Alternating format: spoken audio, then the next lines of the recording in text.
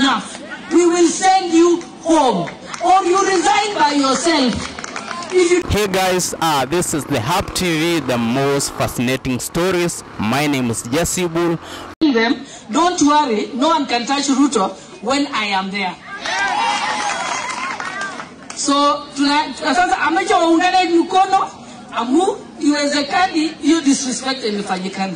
Rigathi Gachagua, you have been very disrespectful of the president. You have committed gross insubordination. You have violated the National uh, Cohesion Act because you are busy preaching tribal politics. You have committed enough offenses, and now we have said enough is enough. We will send you home, or you resign by yourself. If you don't want to be uh, to, to listen to.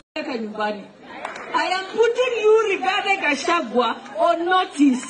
You are to be impeached. I can confirm that to you today, and I shall be in charge of that impeachment myself.